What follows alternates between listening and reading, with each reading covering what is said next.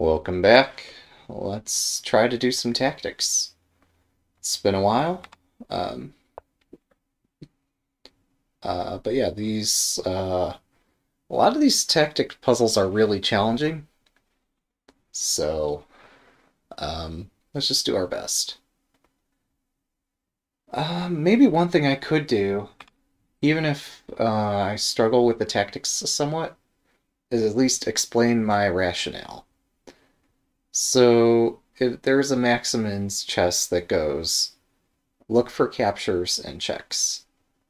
So here I have a capture, I have a capture, I have a check, that's not a check, I have a check, I have a check. These are, at first glance, my candidate moves. Um, now, there are various ways to look at this sort of thing. Uh, one algorithm you could use, or one heuristic you could use, is if one of the moves obviously wins, play it. Um, so here I've looked at all four possibilities. None of them seem to be an obvious win. Um, so possibility number two. Um, see if you can prune any moves so you don't have to consider them any further. So, starting from the beginning here, uh, one of the moves I want to look at was king takes pawn, which can be met by bishop takes knight. So we don't need to look at king takes pawn any further. That endgame is lost. Alright, so uh, next thing is this check is met by this king move. And it's pretty clear that, like, from this position after the king moves. Um, I do have one capture that would lose my knight, but otherwise I have to move my knight, and black can choose to defend this pawn or otherwise cause some mayhem, so uh, we can rule out this knight check. Similarly, this check uh, is met by this king move, um, and black is again threatening to exchange their bishop for this knight and either draw or win the endgame. So we have, by process of elimination, ruled out this and this and this. Therefore, since there's only one capture or check remaining, it must be this move. We don't need to look any further to see whether or not this is the right move. This is the right move. We've uh, looked at other uh, moves. Yes. um, you know, it's just as valid as the other title that another person happens to be using. Because there is a hard rating cap limit of 3,999.999999999, etc. It is, there's literally no way in the rating code to achieve a rating of 4,000, so doesn't matter. um, so I like my title. Um, so, candidate moves. Obviously, black is threatening to promote here. Uh, here's a candidate to guard the promotion, uh, promotion square. This candidate would immediately fail to king takes knight. Okay, so we can rule out this king move. Um, remaining possibilities for how we stop the pawn are um, either knight here, guarding the promotion square, um, or knight takes the pawn directly. Um, so I don't really have a rule of thumb for this one. Kind of wish I did. Um, obviously, black is threatening to exchange this for our pawn. So we gotta have a good move here. oh, I'm sorry. Identify all the candidate moves. So this is a check. This is a check. Um, I think both of these knight moves are countered by pawn e5, followed by pawn takes pawn, and there's just nothing to be done anymore. Um, this check, again, is countered by the king attacking the knight. Um, and then the knight's hanging as well as this promotion check being threatened. So this check is out. Simply taking the pawn, as I discussed, results in this pawn exchange, or our pawn takes and the king takes, and that's just over. So the only move to prevent this threat, um, while still giving us the possibility to chase down the pawn later, is this check. And that's the end of the puzzle. So, yeah. Let's try another puzzle. Oh, incidentally, I'm not even looking at my rating because I don't care. um, so, look at captures and checks. This is a check, this is a check. There are no other captures or checks in this position. Identify the opponent's threat. Um, does the opponent have other threats? I mean, maybe this. I don't really know. Um, so, let's see.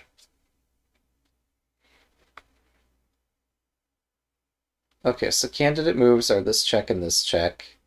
I don't really see any quiet move that would set up some devastating tactics, so we're going to have to be not subtle here. Um, potentially this, targeting this and then trying to promote, could be a threat. Um, I mean, it fails to a very quick analysis of rook takes this pawn and we exchange some pawns and there's just nothing here, but it's a candidate move. Um, so uh, I guess I'll add um, Black's threat does look pretty serious here. This rook takes pawn, after which white has no winning chances. Um, because black can take the other edge pawn and then come back and take the f pawn. So we have to stop this rook takes pawn thing. Rook e5, uh, king, I don't know, probably goes to d4, and then they take this pawn and so forth. Uh, so there's just nothing there. So we've exhausted captures and checks except for this check, so this must be correct.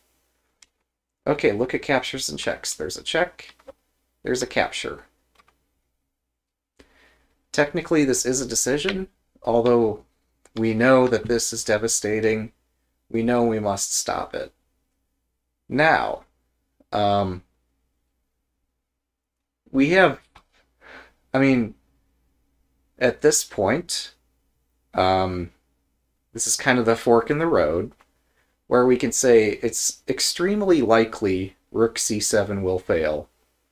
So we have a choice here. Do we look at rook c7 and prove that rook c7 fails, which could take all day, or without moving the pieces, do we look at rook takes rook? So looking is free. Actually moving the rook to take the rook is not free, because it's possible rook c7 could be the solution.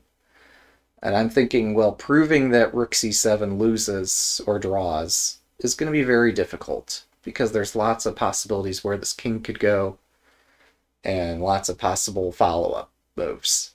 Even though I don't think it's going to lead anywhere, it's possible it could lead somewhere. So, um, in a blitz game, I might just take the rook. But since we're solving puzzles, let's, without moving the pieces, figure this out, right?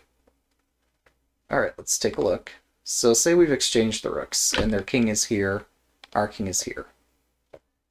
We play king f7, they play king here, king e3, king takes pawn, king f3, king takes f5.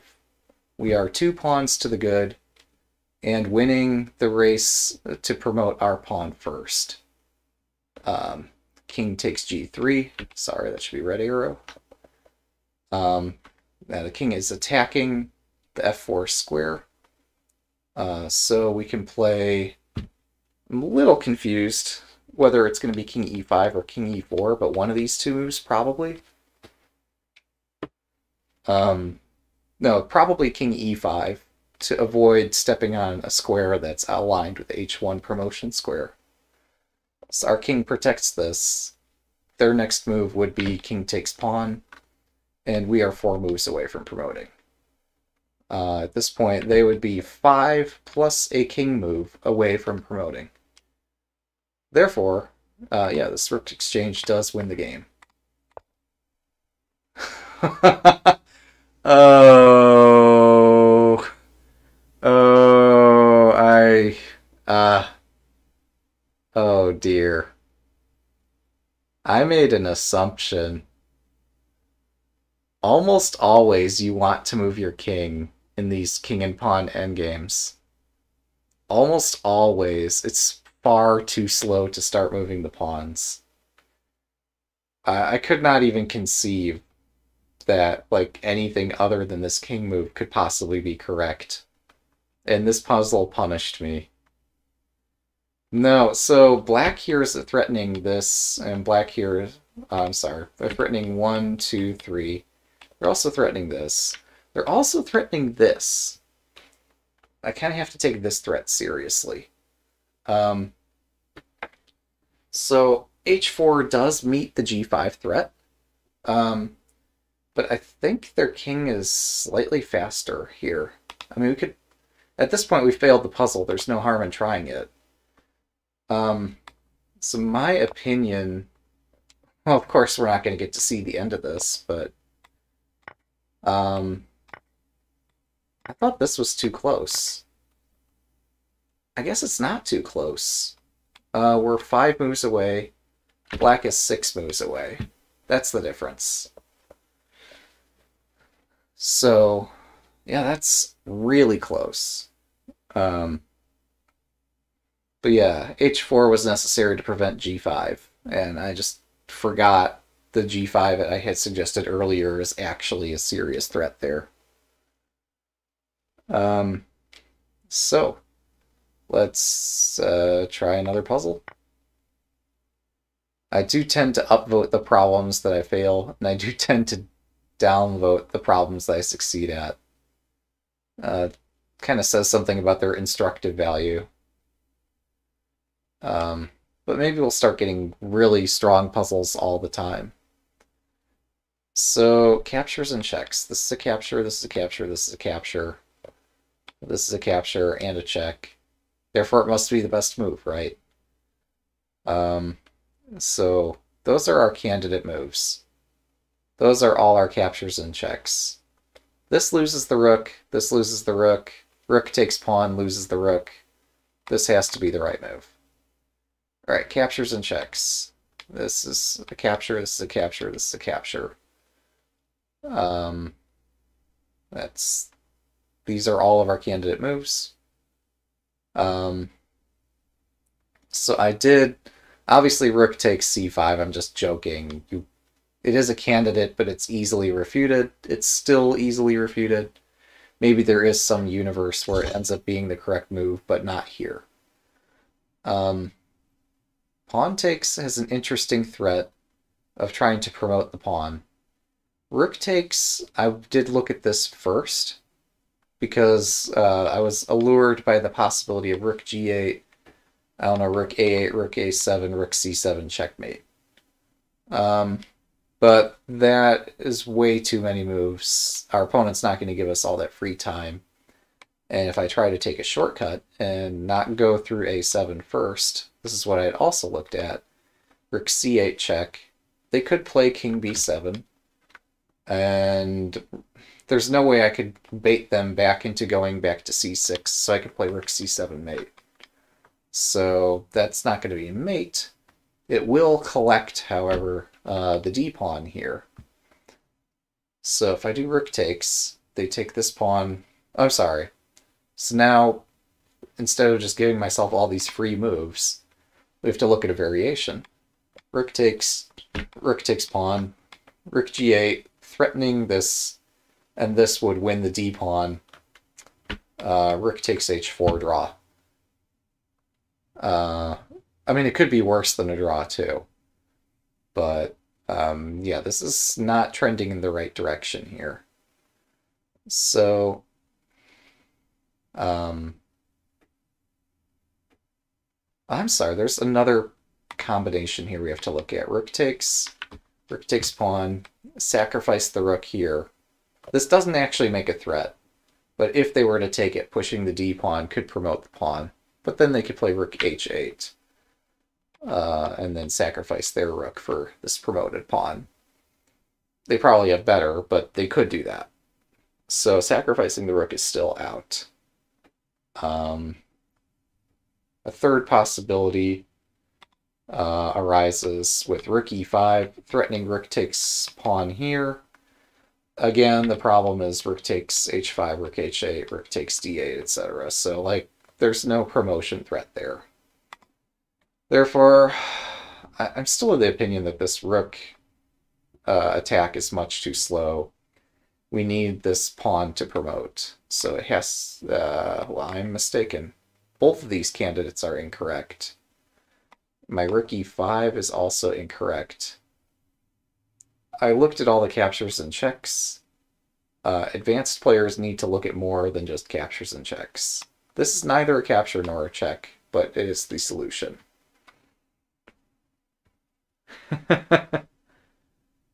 yeah, yeah, this is correct. And the motivation is that we want to prevent black's rooks from combining on either the fourth rank or on the H file. Um, so we need to do this in-between move. And then we'll do pawn takes pawn or rook takes or something. But yeah. Uh, yeah. H takes is super alluring. Um, I'm kind of surprised it doesn't work. It, to me, it looked like there would be a fierce uphill battle, but since our other threats are already covered, like, there's no way for us to force this D pawn to promote. Even if we sacrifice our rook, the pawn still does not get a chance to promote, then this has to be the correct way to lead the combination, as opposed to waiting to a later time to play this king move.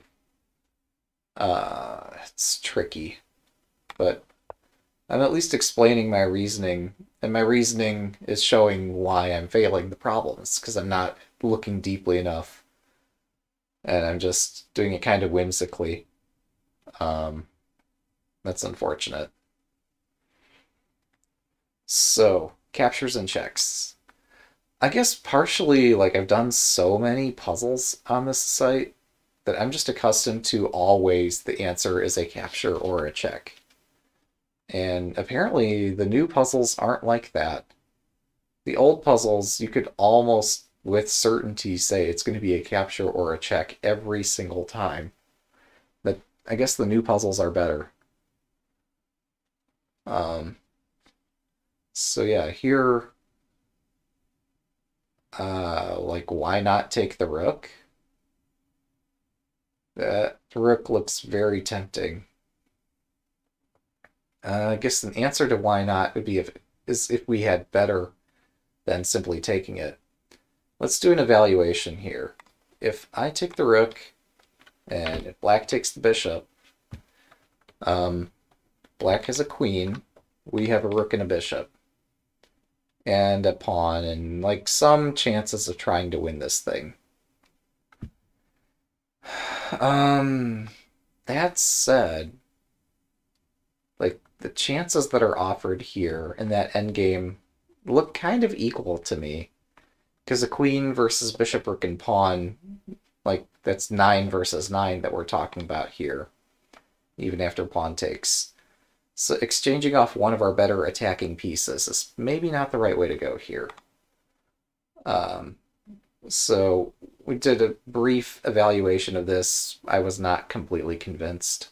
So we're going to start looking at pawn takes pawn. Um, against pawn takes pawn, uh, black in theory could block an f5. Blocking an f5 just loses whatever piece they block with, so they can't do that. But that is one possibility. But um, the other possibilities here are this, this, this, and this. So if king g7, uh, we play rook f7 here, and oh, I'm sorry, we don't even have to necessarily play rook f7, but this king is like super awkward in the corner. Potentially could get chased out to h6, and then we could play rook h7 and then pick up the queen. Um, that's one mode of thought. That's not to say that that's exactly what would happen here. So if we give this check, instead of moving toward the queen, they would have to move to the back rank uh, and be prone to checkmate threats from both rooks. Um, so that's interesting. If king g7, uh, they might as well just go directly to g8 instead. But there, there's the king is still prone to whatever kind of mating attack we decide to conjure. Um, if the king goes to the left to e8 or e7, suddenly we have threats both to promote the pawn and perhaps to play some kind of rook attacking the king and skewering to win the rook in the corner. Like rook f7, um, followed by rook df1, and then rook f8. Something like that could occur. Not saying that will occur, but we're just speculating what might happen. So this looks very tempting, especially because bishop takes rook doesn't seem to go anywhere. So I'm going to play this again on a whim. In a tournament game, I'd actually give this some effort. And this is not the correct move. You're supposed to actually take the rook, and hell if I know why this is best. I evaluated that this was even. Um, it's not even. I mean, that's... My intuition led me the wrong way. And uh, that's the end of that. I mean, there's nothing more to learn from this, other than I just didn't evaluate it right. Now, you could say, let's go analyze the entire endgame and figure out how our evaluation failed. Um, so, I think this is an instructive moment, but I don't think this puzzle's particularly good at teaching a concept. Unless somehow it were explained, like why white is winning this. And you could just toggle on the engine. Ask the engine, give me a move, give me a move, give me a move, and you could do this exercise for next 5, 10, or however many minutes. Um, and usually I'd recommend that. Um, but here, I just don't have the patience right now for it. So we're just going to move on and see how we do. So, um, capture, capture, capture. There are no checks here. I have no mating threats, although if a queen just teleported to e8, that would be a mate. So if we could find a way to get this queen over to e8, that would be wonderful. Um, it's unlikely here. The queen could make it to g7, that would also suffice. That might be doable. Um, well, I'm sorry, this queen covers d4, so it's not like we could just vacate the d4 square and then use it. But if we vacated the d5 square, our queen could check and start getting more checks, and something might happen. Um, hmm. Okay, so candidate moves have been identified. If this rook takes the pawn, we're going to look at like, I mean, you're, the damage you're looking at there is knight takes f2 or queen takes f2, and white is just super hosed. Rook takes pawn must lose, so let's take that out.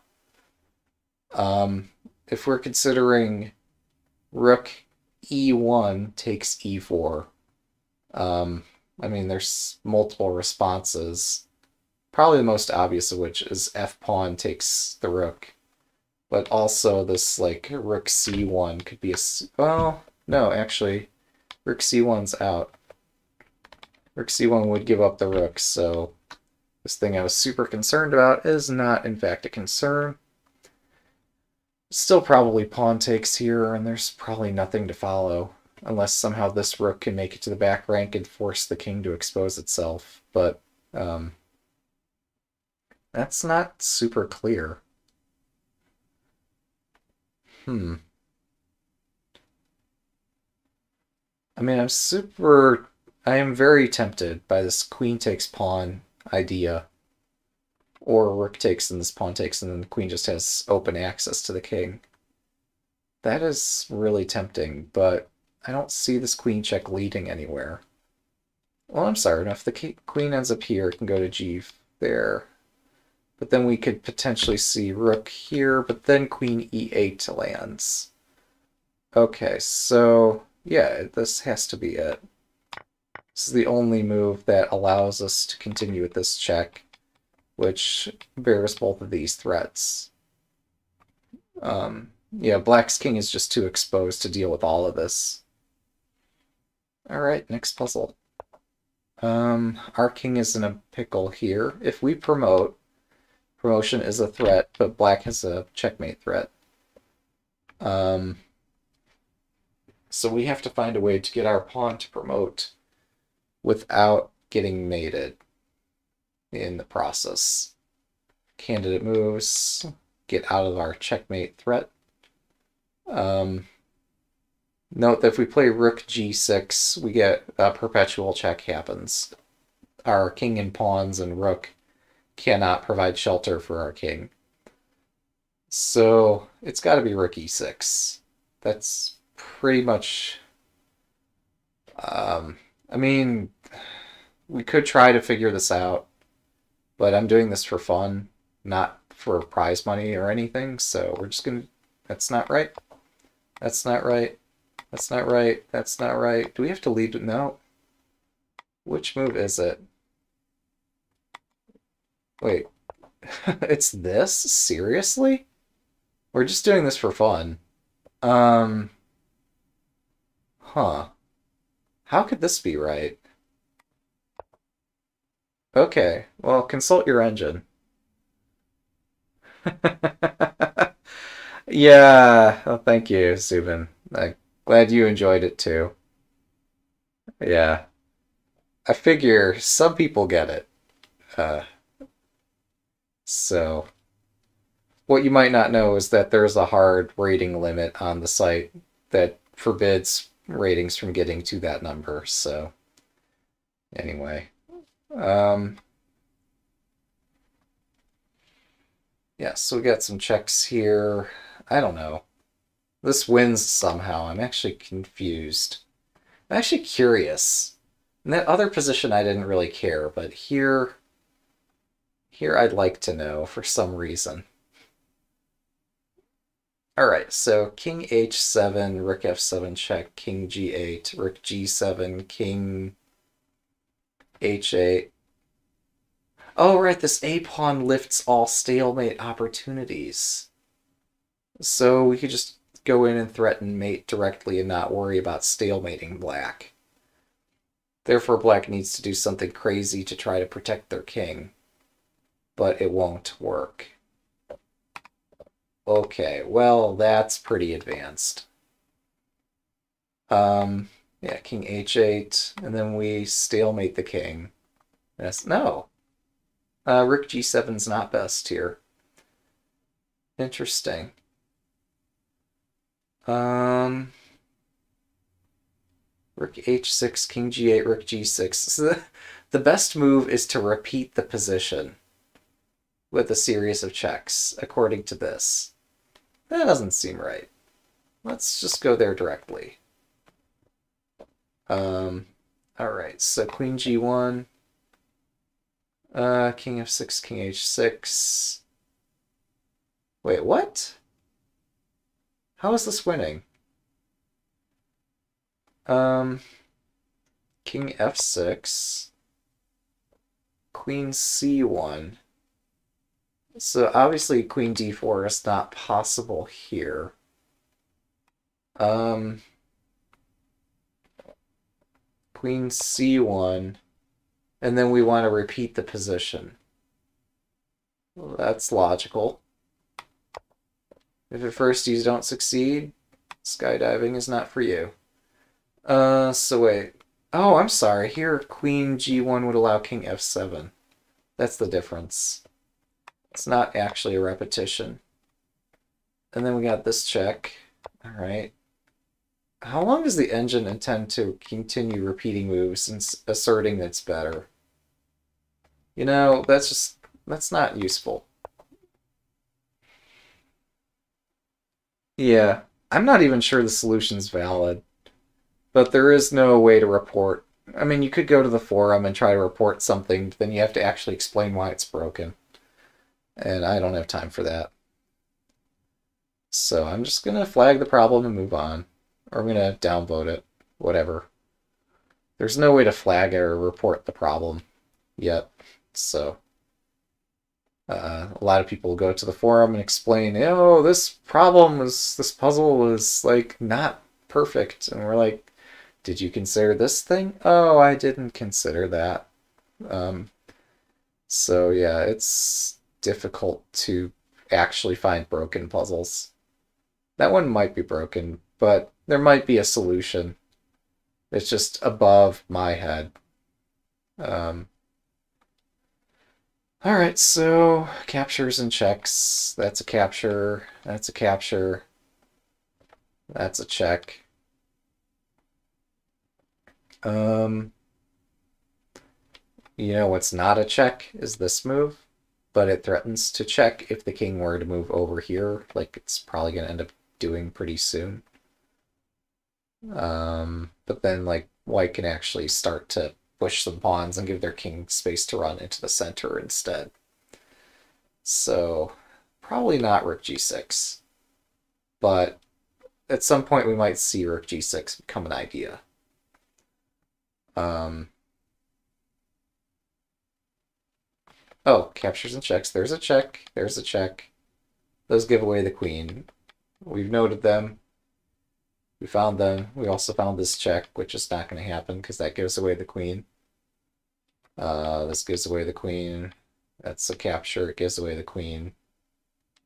Um, yeah, huge list of candidate moves to consider here. So that's why this came to mind. It's like, I didn't really like any of the capturing or checking moves here. The reason I didn't like queen g1 is because I had started to analyze it.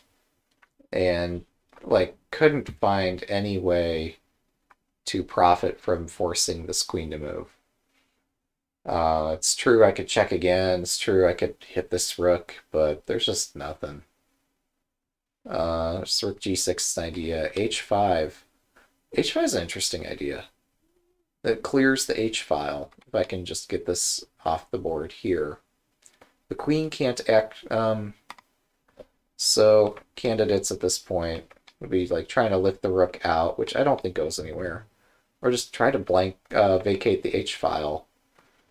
Um, also possible is f5, trying to trap the king so it doesn't escape into the center of the board.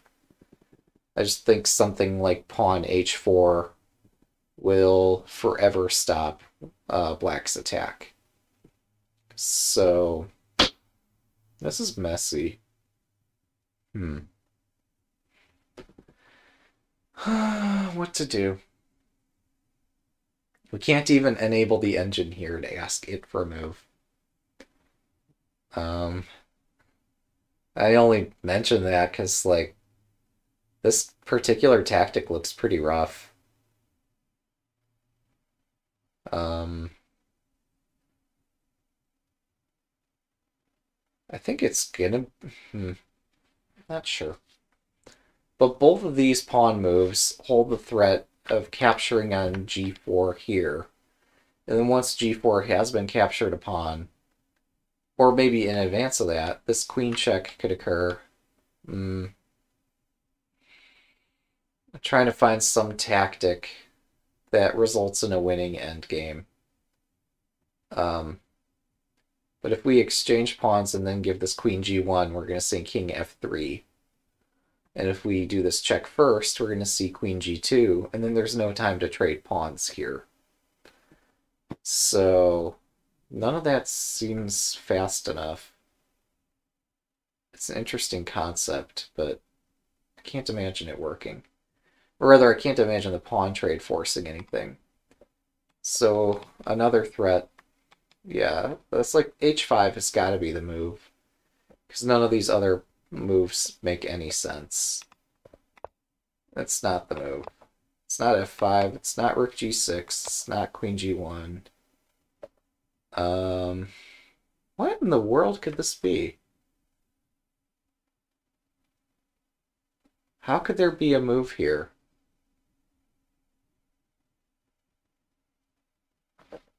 Is it rook e8? Okay, it's rook e8. That's tricky. Nicely done. Man, these I did this I started this live stream um with under some pretense that like somehow puzzles were easy. Oh, they're not. Wow. I am surprised how far along puzzles have come. Uh, okay. Not even going to try to explain my thought process anymore. Because clearly it's not helping me. And since it's not helping me, it's doubtful it's helping you either. Um, sure, we'd love to promote here. Um, the dilemma we run into is that with our king exposed here, bishop c4 uh, is going to land and collect this pawn at some point. That's our dilemma at the moment. Um, I think we have to play rook c1. And the idea is we're going to try to win this knight. Uh, rook c1, pawn c6. But then we take the c6 pawn and then go back to c1. I think that's how you do it. And if they take the rook, then we just promote. It's such a mess. I'd like to play rook c3, but that just loses the rooks, so... Rook c1 seems to be the tempo gaining move here. Uh,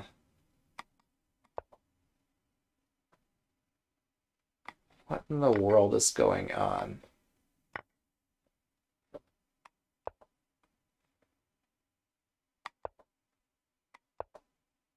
Sorry, I should not have tried that twice.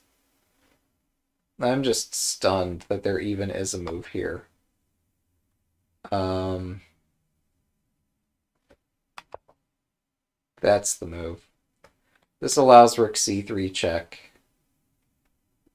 That's a really complicated problem. Uh, yeah. Yeah, the thought process is interesting. I'm just starting to get flustered. Let's undo Zen mode. We see that my puzzle rating is 2,346 minus 5. So this is why I'm getting over 2,000 rated puzzles to play against, and they are extremely difficult. Um, now note that 2,000 is half of 4,000, so our chances of making 4,000 are about the same as the chances of us making 3,000, but we'll try. Um, oh, okay, well here we absolutely must take the rook. There's, like, no other candidate move there, because the rook taking here on f2 or a rook moving away would result in a lost position. Generally, in this sort of position, it's important to bring the king into the game as quickly as possible. So king b4 is a very strong preference here. It's not necessarily best, but the idea is if we can zigzag this king, we can pick up the b pawn or the f pawn. Um, and since our king doesn't have any other way to advance, then there's no harm in playing this right away. Now our we actually have a choice. Uh, if we were to make any pawn move, they play king b6, and we've lost the opposition. So it has to be king c5, unless we need to lose the opposition for some reason and then need to get it back. So we know it's not pawn f4. Uh, I say that. Oh my goodness. Oh no. Oh no. What might land at some point in this position um, is actually the pawn sacrifice d5. But if we play d5 right now, um, um, Hmm. Actually, this might not make any sense. Yeah, none of this makes sense. Uh, there's no pawn breakthrough here. Um, I was just trying to think, if we played f3 and f4 first, and got the same position but with this pawn on f4 instead, our threat to play d5 might somehow have more impact. I was at one point considering a pawn f5 threat, um, but pawn f5 results in them just promoting their f-pawn, and we're out of luck. Um, well, that's not true either. So if we were to play pawn f3, pawn f4, king c5, um, then if we were to play pawn f5, if they were to take, um, then we could play pawn d5.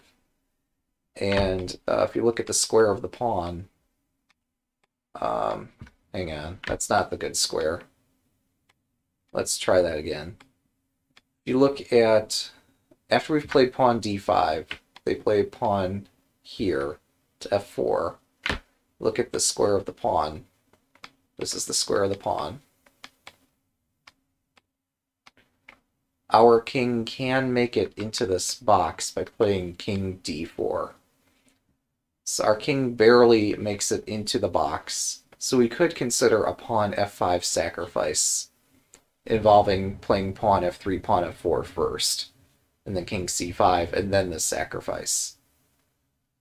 In this position, black's king would presumably be on a5. Uh, so we could consider the sacrifice and play pawn d5. They play pawn f4. We play king d4. We stop the pawn. We still have the threat of promoting our pawn, which lures the king away from the c3 pawn. Sorry for lots and lots of arrows. Um, so all this is to say that f3 followed by f4 is a possibility here. Uh, the immediate f4, king b6, puts us in zugzwang. We're over. There's nothing left to look at there. We have to retreat, and uh, if we're lucky, we draw. Um, we're probably lucky there, but still. Uh, it just doesn't go anywhere to lose the uh, opposition. So we're saying you have to be f4 or f3, since if we play king c5, and this occurs, now you're saying if we were to chase this pawn here, like we really want to do, uh, yeah, black threatens to take this pawn um, pretty rapidly. Uh, how rapidly? Well, I guess we should count it out. One, two, one, two, three, four, five, seven. Uh, one, two, three, four. Oops. Uh, that's a count of eight. So our promotion. Wait, no. This is one possibility. This is not the correct answer. This is the most primitive analysis. So we have a count of seven. That doesn't change. One, one, two, three, four, five, seven. Um, however, with this king here, once we play king d6, black could play pawn b4. And they have, uh, after we do pawn takes here, um, it just takes them three more moves to promote. So that's a pawn breakthrough. Um, presently, it's approximately 2,300. Yeah. Yeah, you found it. I forget. I have a Discord bot that publishes this information. I never made it. Never made a Twitch integration for that. But now that I think about it, maybe I should make the Discord bot also uh, respond in Twitch chat. That could be interesting. Um, We'll think about it. So yeah, you're right. King d6 here results in a breakthrough, and we're just done. Our none of our pawns promote in time. We don't have a pawn breakthrough of our own. If we had a pawn, say if this were to move somehow over to e5, then we could consider pawn breakthroughs of our own. But here we don't have a pawn chain. All our pawns are basically isolated. So you're right, it has to be either f3 or f4. And I'm saying f4 doesn't work, so it's got to be f3. Now, yeah, we've by process of elimination we came here. Um, black is very generously giving us the b pawn and the c pawn, so we don't have to analyze anything further. This is probably black's best resistance in the position, but it defeats the entire point of the puzzle.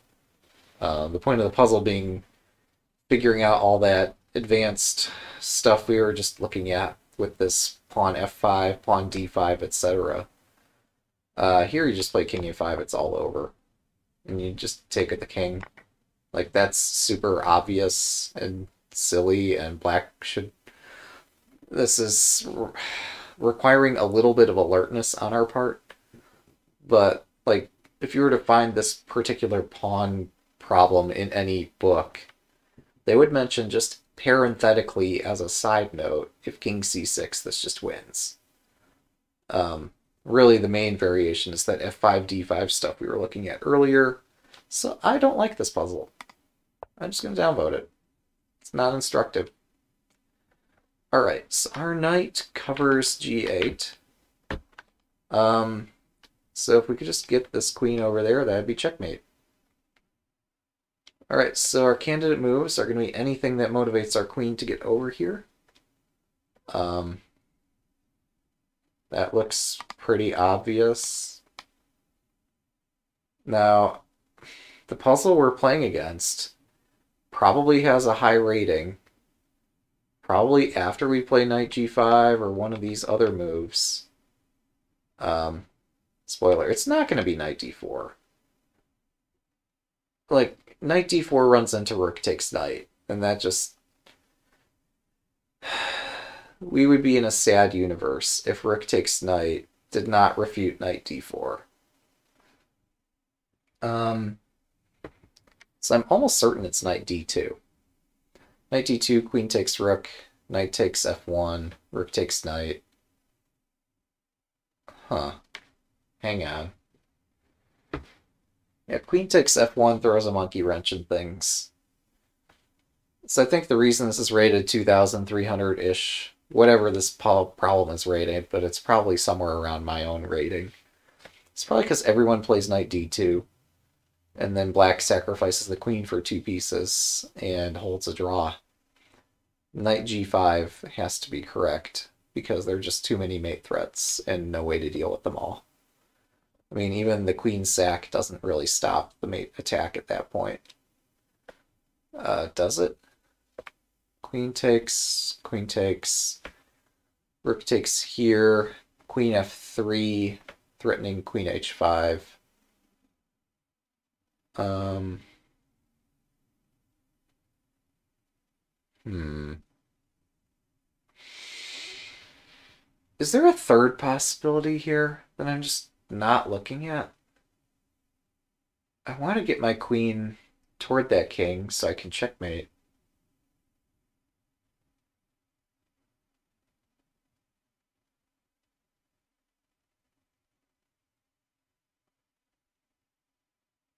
I'm just not seeing a trick here. This is interesting. I thought this would be super obvious. I thought wrong. Huh.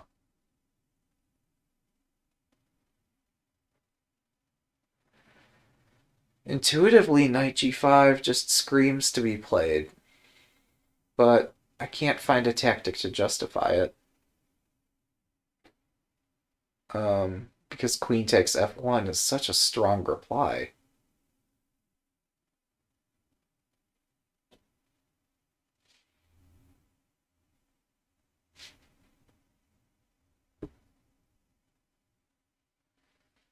Queen f3, yeah. No, I saw queen f3.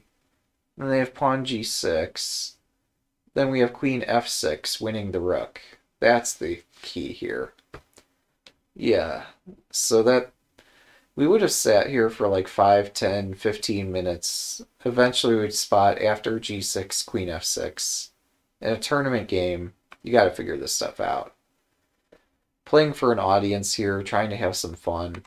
Yeah, I will occasionally take some assistance here. It's okay. There's no puzzle leaderboard or anything like that. Um, so, yeah, we are... Oh, okay. But now queen h5.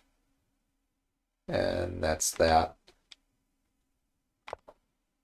Yeah, that was a cool puzzle. That's tricky.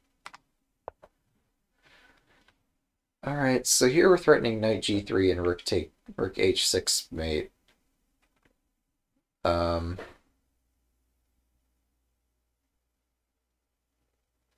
uh, which doesn't actually work because this bishop can interpose on h4. But thematically, rook h6 is the idea. It's just this instance of this idea.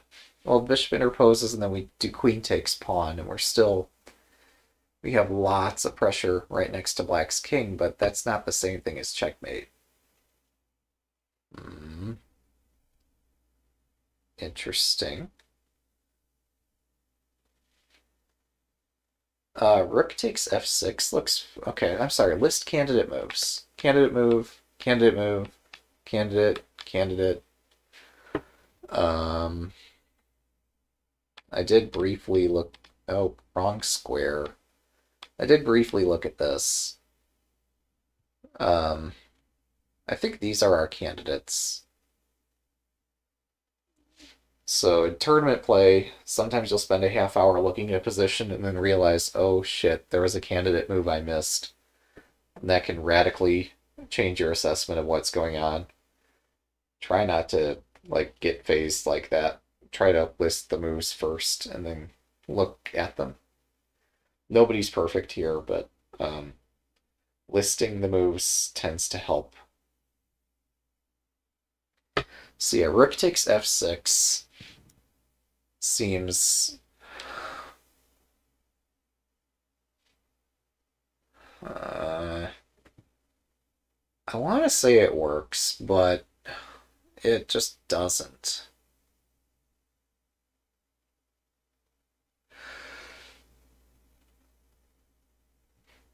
Rook takes results in rook takes uh, uh, rook. And I just don't have a hard counter to that move. Well, that was awkward. Um, one of my devices just powered off here. Hopefully everything's okay.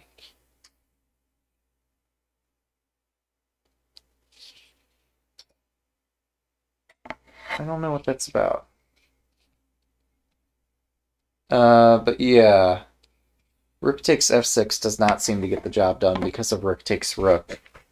And our we have too many pieces hanging simultaneously. Yeah. Hmm. Sack the knight. Knight takes rook, checkmate.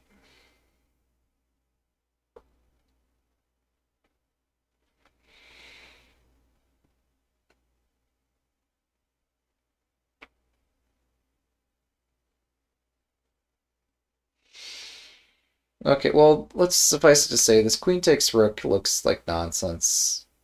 And I think is met by queen takes queen. Queen takes g3 is also nonsense. So these are really our candidates here. Sacrificing the knight on f2 gets absolutely nowhere. Um, so, yeah, we have just two candidates remaining.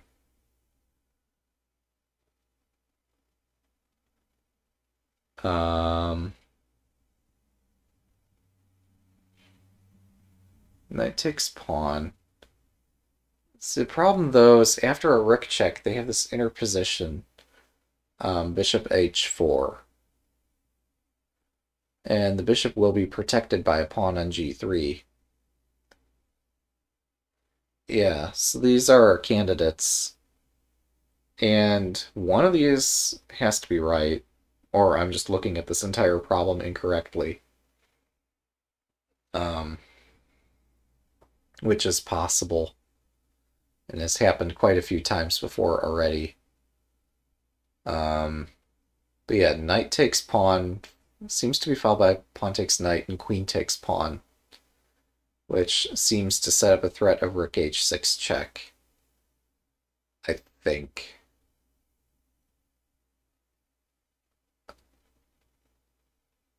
Not totally sure. And rook h6 check seems to set up threats of like queen h2 and rook g6 or queen takes g2, somehow skewering or forking white's remaining pieces. Um,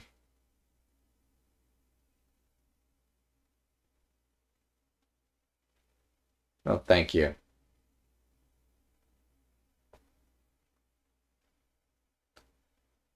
Yeah, this is... Yeah, bishop h4 is the fly in the ointment here. That seems to defeat, or at least challenge, our assumption that it's got to be knight takes pawn. Um, if we were to take the bishop first, then after rook takes rook, I don't see a way to continue the attack there either. Um, this is just really weird.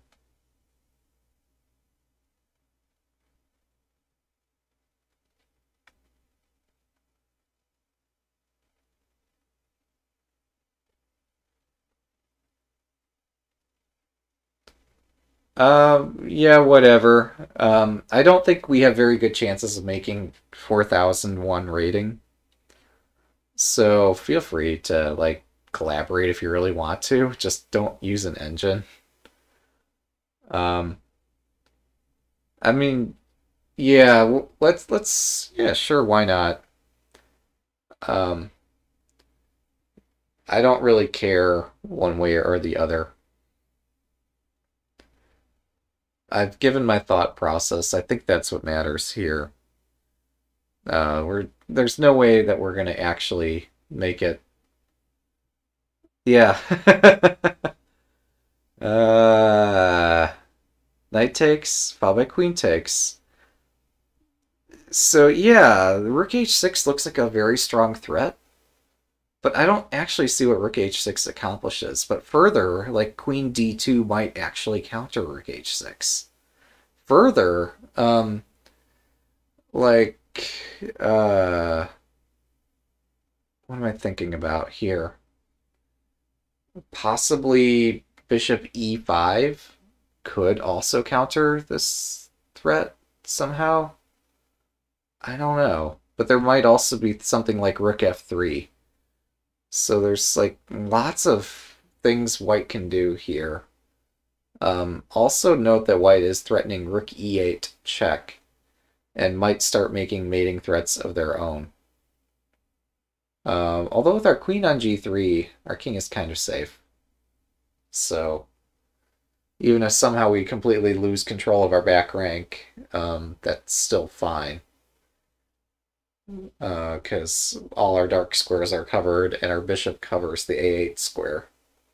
So there's not going to be a mate unless somehow their queen teleports to b8. Um, yeah, curiosity killed the cat. We're going to find out if knight takes pawn is right. Knight takes pawn is correct. I was thinking it has to be this here setting up the threat of rook h6, although I don't really see... Oh, I'm sorry. It's either this or playing this uh, after we check here first. Um, and the point of doing the check first would be to prevent moves like bishop e5, um, which might not be useful for white here, or bishop d4 or something like that. Um,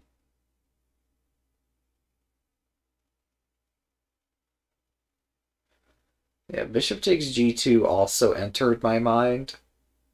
It's definitely a candidate.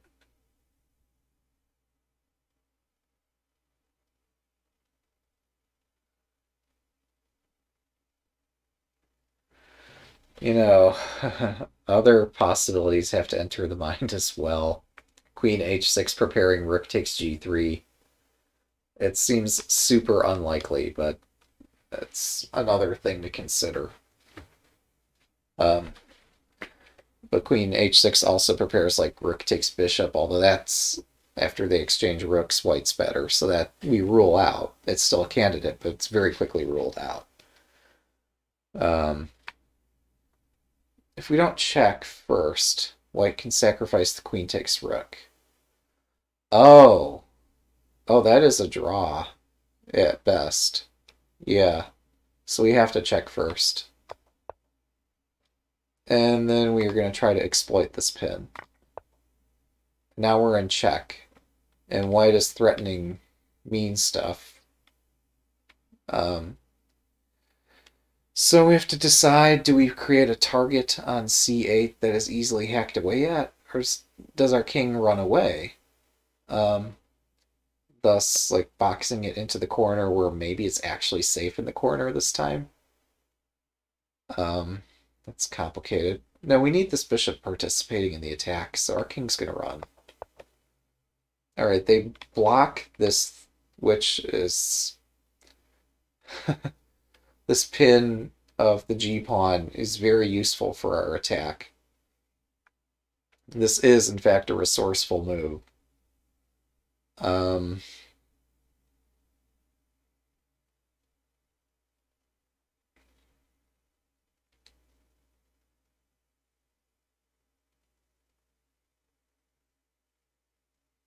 So what now? I mean, the most obvious candidate is... we list candidates first, and then we start evaluating. Um, so that's a check, that's a check, that's a check. Queen takes is bad, but we are listing it anyway. We're just finding candidates right now. That's a check, that's a check, that's a check. Almost all these candidates are terrible. Um, but we just want to make sure we haven't omitted the key if it happens to be here somewhere. Um, oh, free rook. Free rook airlines. Never mind. Yeah, all this dissolves quickly. Because if they take here, we take here. So, um, yeah, we have a fork. So that rook is completely free. That's a tricky rook interposition, but uh, it just didn't do anything here. Um, yeah, this pawn is protected by our queen. So everything's covered. Was this a good puzzle? Um, it was a very challenging puzzle. Um, Rook e4 might confuse some human opponents. It's not... Yes, I think this was actually a good puzzle. Um, chess problemists, the folks who write the things that go into uh, magazines or books or things like that, would condemn this as like, hey, look, you have this check in the middle of the puzzle, and then you got some other strange moves like rook e4, and you have to take that, and like, they would feel this is kind of icky.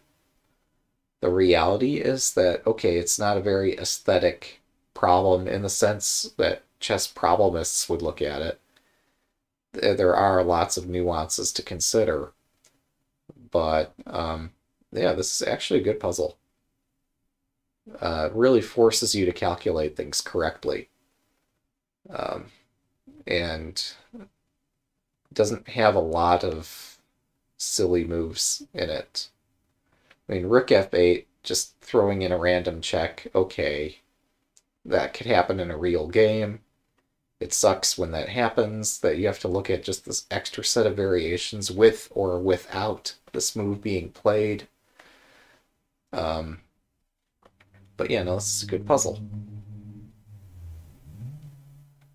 We're going to go on to the next one. Alright, so, jeez. Candidate moves. One, two, three. There's a check. There's a capture. I think these are our captures and checks. Um, Alright, queen takes can be removed because it's just dumb.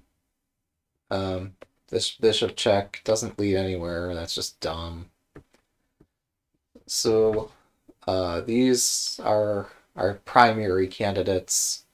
If we need additional candidates, we could start considering moves like this or this. But uh, these are all very slow. And white, in fact, has this nasty threat that we have to respond to immediately, uh, either by preventing it or. Um, so this enters the candidate move list just to prevent white's threats. Um, actually, queen takes knight is now back on the list because this rook takes f7 threat is so potent, and we need a way to deal with it. I'm not saying queen takes d6 is likely to succeed, but it's a candidate. Um, hmm. Alright, so I think bishop takes bishop is ruled out on account of rook takes f7 and we lose our queen. Yeah, we can take that out. Um, theoretically, rook a f8 could be considered, but god, why? Something would be very wrong with this puzzle if rook a f8 were the answer. But rook a f8 and rook h f8 look logically equivalent unless somehow this rook actually plays a role uh, on a8 in this attack that we're about to do. Uh, since problems only have one solution, rook f8 and the other rook f8 should be um, they should have the same I'd expect this rook on a8's probably not going to participate in whatever our key solution or whatever our key line is here. Um, maybe it is actually needed to support advancing the pawn to a2 and a1 because white's queen covers the a2 square. But I don't know. I don't know, man. It's complicated.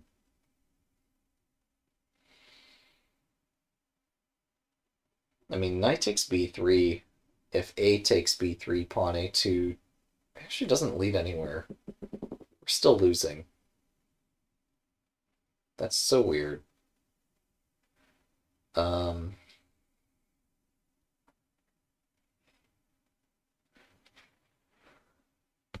Pawn f6, that's a candidate.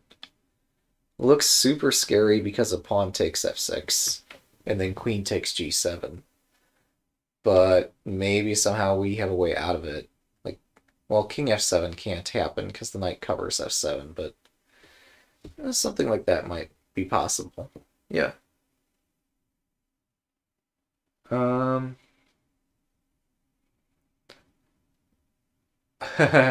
yes, yeah. Some knight move and then bishop takes the knight on d6. Definitely looks called for here. And I I don't want to see this rook moving off of the back ranks. I'm tempted to do knight takes on b3 like you suggest here. And then we take this knight. Um, oh, and our bishop covers this. So our attack continues. White's attack is slowed by a single tempo. And by some miracle, this all works out. What's the rating of this problem? 2,422. Yeah. So we're our threats are like a2, a1, and bishop takes bishop and stuff like that. So um yeah, we have a lot of threats here. And if white tries to do something cheeky, um, I guess, I don't know, we have to protect the pawn, maybe. Um, that defense might take priority over our attack, even though our attack is quite strong. We probably do need to take one tempo to defend the f7 square. That's my guess. This puzzle ends too soon. We really need to have an answer for queen f3 or queen f2. And we just don't have an answer. Um, yeah, this puzzle ends too soon.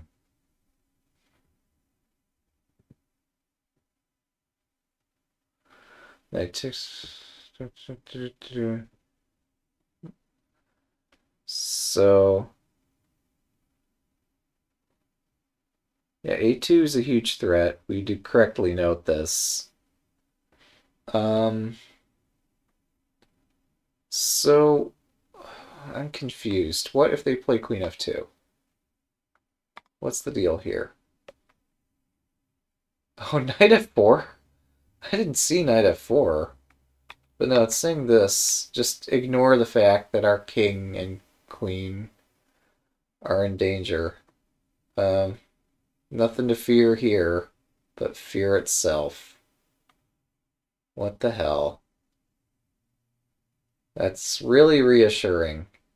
Um, so if they throw this in the way, we just take the rook, sacrifice the queen. Oh, they're... Wait. And then we pin the bishop. They take this. This is check. So, like, a zillion moves ago, you all saw that this is check, right? Because if this is not check, this whole solution is just kind of ridiculous. Because f7 and then the knight and then the bishop and everything all drop. And probably our king gets mated before theirs if this is not check. Um, yeah. There are other wins. You're right. We don't have to resort to bishop takes rook. Um, I'm being dramatic. We could, instead of taking the rook, we could play knight d4, sacrifice the queen. And Stockfish just suddenly changed its evaluation of this one, eh? Uh-huh. All right. Oh, I'm sorry. No, I'm no. It said the second best move was not very good here. Um. Son, queen. There, bishop takes c4 is one possibility. Um, rook hf8 is also playable. This is probably what a human would do. And then, having given white an extra tempo, white's extra tempo apparently is not useful. I would have thought that this could have been kind of dangerous. Um, something like this. And then we, well, we're not losing our queen because the knight covers that square, but like, yeah, it's not clear at the end exactly what's going on. Even though black is much better, it's just not obvious. That problem ended way too soon. Um, all right. How is this not the answer? Or this? Like, in what universe is the answer pawn g4? Okay, list candidate moves. One, two. Alright. Candidate moves have been listed. Um, there's no universe where pawn g4 is correct, because we get zugzwanged. And there's no pawn breakthrough. There just is not a pawn breakthrough as long as white can shuffle their king between d4 and d5, eventually forcing us to give way. There's no pawn breakthrough that way, so it has to be king g4. Like, unless somehow pawn h5, but like that's insanely slow and allows white's king time to go back to defend the pawns. How... Okay, so it's not pawn g4. My god. What in the world? These are our candidates. F6 is a really depressing candidate. And encourages white to play H3 or F3. So yeah, like the only candidate that made any sense to me is King G4. We're playing King G4 because I'm bored. I just want to see what happens. Um, so I think the path white is going to take is um, they're going to go here. I wish I could draw this less clumsily. So this is what they're going to try to do, I think, because I think white wants to take our g-pawn. Now, given that white wants to take our g-pawn, they're going to leave this f-pawn behind. Since they're going to leave this f-pawn behind, we want to be in a position to promote our f-pawn at the end of this madness, which requires us to remove the f2 pawn. So removing the f2 pawn is of higher priority than removing the h2 pawn. Um,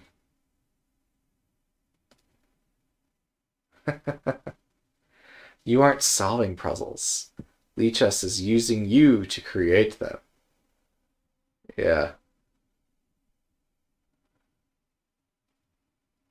Alright, so... Yeah, I do think that. Hmm. That's interesting. So, like, in my mind, I really want to remove this f pawn. But then I'm forced to chase down this h pawn, which is not so obvious. Whereas if I try the other move order, uh, I mean, I'm going to be chasing one pawn first and the other one second, regardless how this turns out. Because if I need to be able to promote... I'm sorry. Let me first look at, could this possibly work in a universe where white plays king g7, my king's already on f2, could I just play f5 and then play f4? Yes. White is not in time to stop me from playing f4 and f3. So this just is the answer. Yes, so if white goes the challenging route here, um, or at least the way that looks challenging, uh, black just promotes. So the way that looks less challenging to me is... Wait. oh no. Uh, we are lucky. Wait, no. The fuck? Okay, what? Um... What? What is going on here? One, two, three, four. One, two, three, four. Um, hmm. This is not right. Hmm. Yeah, pushing the pawns is almost always too slow. But this other path also seems not to work. And we can't just take the pawn, we have to push. Then we end up in the trebuchet. So that's not right. Alright, so what gives? Is it this? Pushing the pawn is almost always too slow. This is the exception to the rule, where pushing the pawn's actually fast enough to make a difference. Um,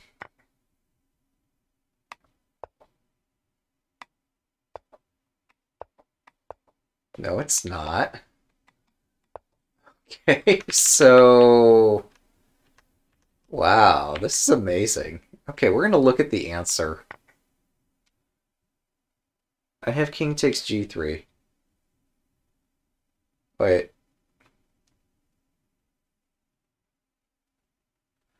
Okay, after g4, king g5, king takes g4. At the very end, I'm playing the wrong move. That would explain it. I got too excited. Yeah. That's right. Okay. Well, details matter. Yes. That was supposed to be the easy line. Um, you all saw King takes pawn. I missed it. I've been watching another chess player recently who is approaching uh, in the positive direction the rating of 800. Perhaps I've watched a bit too much of that, and uh, I'm just finding too much excitement in some of this. Uh, it's re really fun to watch. Uh, Alright, so find the best move. Is this not like the answer? That feels very answery. I mean, obviously, black is intending bishop d5 to stop this. But then we just push the other pawn too. Um, the alternative would be king takes pawn on b5, bishop d7 check, and then we're forced to play king a5, blocking our pawn. And black's pawns just run a little bit faster. It's like pawn a5 has to be the first move, unless there's some check or capture that somehow radically changes this analysis. Um, all right, well, I... What could this be? We're going to try all the moves. We're going to double our pawns to avoid getting an A pawn, because this forces the bishop to be sacrificed one move faster. Okay, that's tricky. but yeah, white's threatening this now. And black has to sacrifice the bishop not on a8, but on b7. And therefore, when we sacrifice our bishop for one of these pawns, we're going to win the pawn race that results. Uh, yeah. So this doubling of our pawns is actually quite useful here because g2 or b7 is closer to the center for our king than a8 is. So we're able to force black to sacrifice the bishop for the pawn quickly. And then our bishop can take one of these pawns and we win the pawn race. That's the analysis. All right. Um, Hmm. Candidate moves. Rook takes a3 is a legitimate candidate move. And unfortunately, it's just not right because black plays king b6 and rook a8. And there's nothing we can do to stop the rook from going to a8. So rook a3, rook takes, pawn f6, king b6, and we lose. So Rook a3 is out. So pawn f6 looks pretty compelling. Um, that seems to be overwhelmingly winning. And if this rook goes back to b8, then we can check here, king b4. We draw our rook back and then move it to support our pawn, but then black plays with black's king on b4 they could actually play rook d8 and start making this messy for us, but their rook can't actually take anything. The endgame's still completely winning. Yes, so... Okay. This tries to change the analysis. Um, interesting. I mean, f7 forces rook b8. Uh, black is also intending pawn c5, trying to exchange some pawns. And trying to wedge their king into this corner. So we do have to be cautious about this pawn c5 thing. So candidates are these two moves. I don't think there's a third candidate here. It's not clear where our rook would go if our rook went somewhere else. Because black's rook is threatening rook b8. And if the rook gets to b8, then we don't have time to play rook to e8 and pawn f7 all at once. We'd have to choose between sacrificing our rook for no good or playing pawn f7. If we play pawn f7, black plays rook f8, then their king approaches the corner and things get a little complicated. Uh, pawn c5, on the other hand, is a waiting move. asking black to tip their hand. This to, are they trying to get their king in the corner, or are they trying to stop our pawn? But on pawn c5, black play this. And I just don't see any counter. Well, we could play king e3, and then black gets their king into the corner, scaring our rook. Um, our rook goes to e1, threatening rook e8. So if after playing rook b4, black plays rook b8, um, with our rook already on e1, we could play f7, and black would be forced to play rook f8, confining the rook. And our king would be on e3, um, having a tempo to go back to d2 and try to stop black's king from getting into the corner. That's really convoluted and can't possibly be right. So it has to be pawn f7. Um, so again here, black is intending king b3. Uh, although here would just drop the rook. Um, so if we played rook f1, black plays rook f8, and then black manages to promote the a pawn, and we're not in time to do very much. Um, we have a choice. We could go toward the pawns. We could go toward protecting our pawn, trying to win their rook. Understanding that at the end of this, we'd have to go one, two, three, four, and then try to promote this. And at the end of this combination, black's king would be on a1, and they'd have to go um, one, two, three, and then they're threatening our c pawn. Um, Oh, resulting in the same tactic that we just saw in the previous endgame where we play pawn c5. And then instead of walking into the trebuchet, we just take the pawn on c6. Um, yes. So that's to say, um, king e5, exchanging exchanging our rook for the a pawn, and black's rook for the f-pawn could work, depending how fast each king advances. Uh, how fast each pawn advances. So we are one, two, three moves.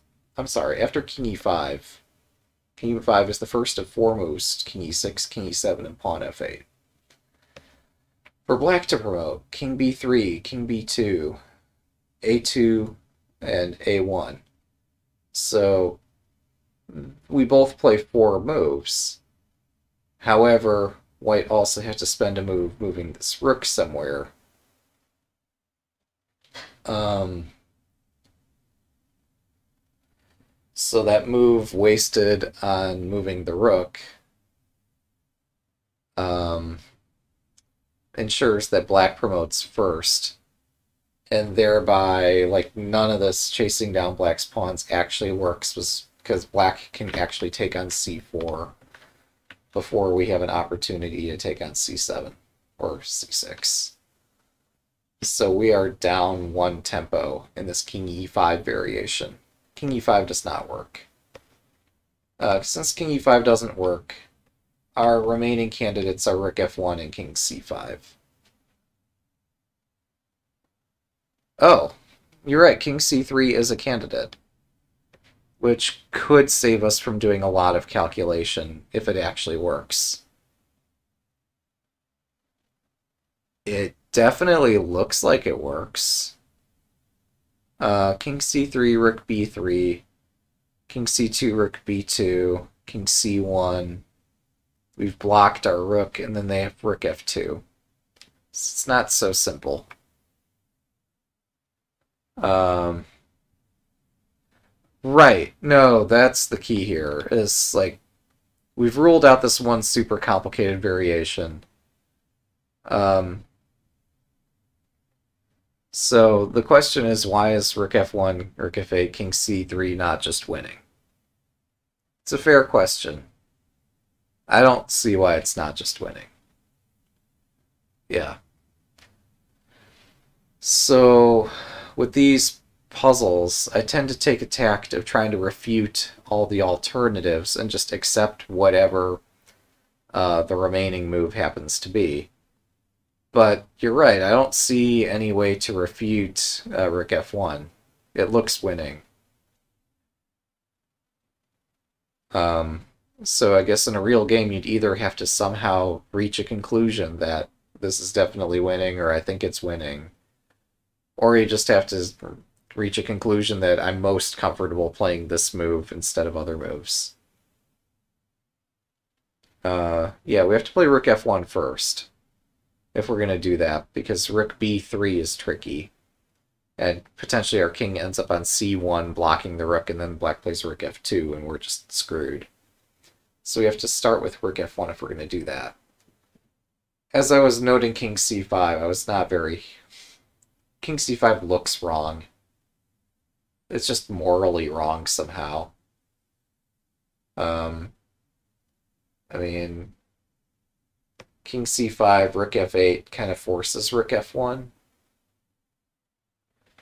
Because if we try to take on C6, black just takes on F7, and our two pawns cannot break through against pawn and rook. So yeah, King C5 is out. So let's play our remaining candidate. I mean, technically Rook E1 could be a candidate, but it's easily refuted by Rook F8, and you have to play Rook F1 any... Well, I spoke too soon. Rook E1 is a candidate if Rook F8 actually happens uh, white could play rook e7. Uh, white cannot play rook e7 because of pawn a2. So since rook e7's out because of pawn a2, rook f1 would be forced against rook f8. Ergo, just play the rook to f1, which is not the correct move. This is not correct. This is correct.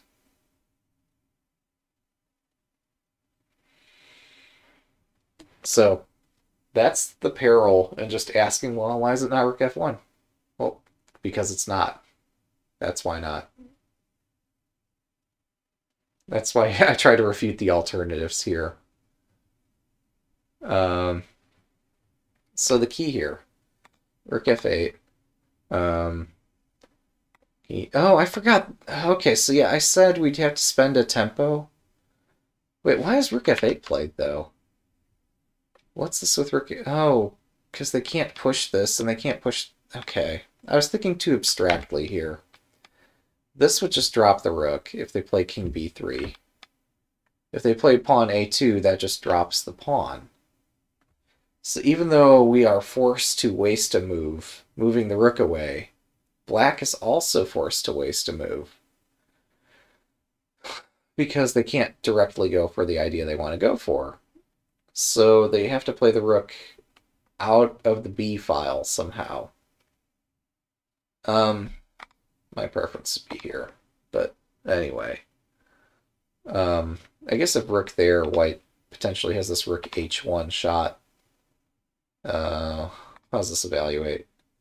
Black is winning. All right. So it's not rook h1 there. Uh, but yeah, potentially there's like rook f1 or rook g1. So yeah, black has to play rook f8 here instead. As uh, I'm a kitty too is suggesting. Oh, yeah. Or rather, International Master A Kitty 2 has suggested.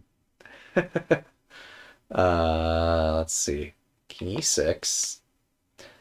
Yeah, so the key here is in that abstract variation I was counting out that was super complicated. Um, yeah, black is losing tempi too. Uh, if you just completely in abstract think about this, oh yeah, he just plays this, and then we play our king, and then they play this, and then we play our king, and then they play their king, and this is how I was counting it out. This was not concrete enough because you just take the A pawn when it's hanging. Um, okay. Yeah, rook c8. I kind of like that. Um, so if rook c8, we just play this, right? Um, and since this threat is so fast, uh, how does this play out?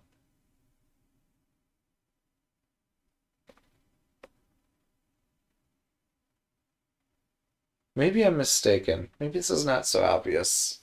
Maybe rook f1's wrong in this circumstance. But... Man, this is confusing.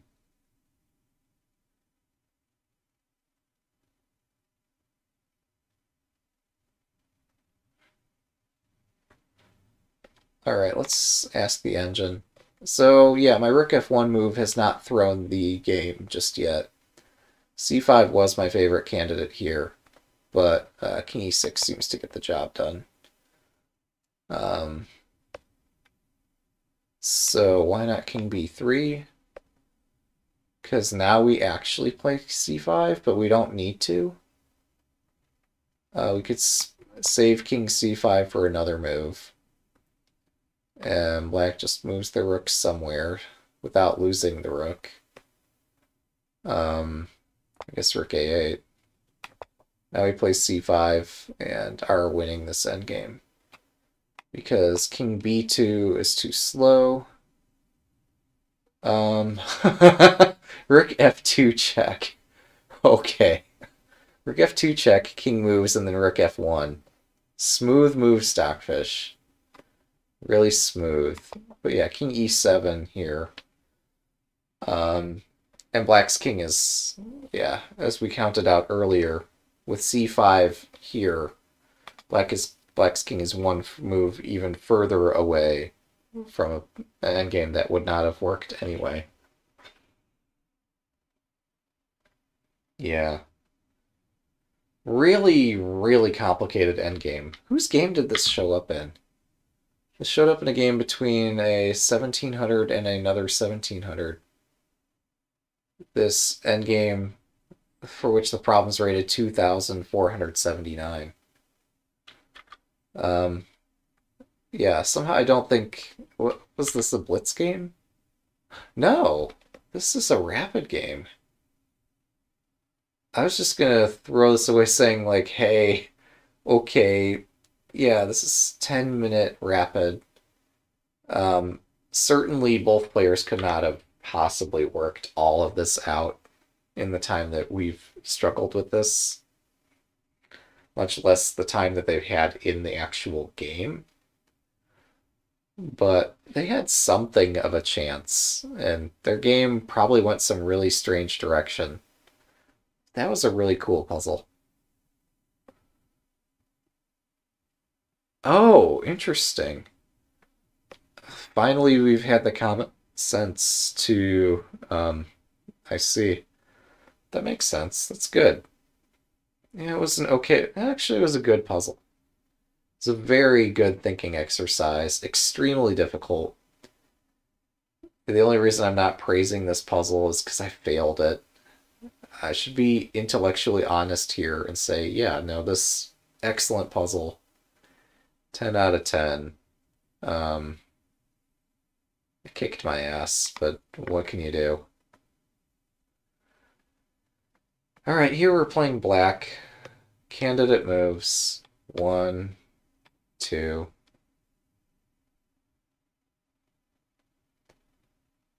I mean, it's got to be pawn c4.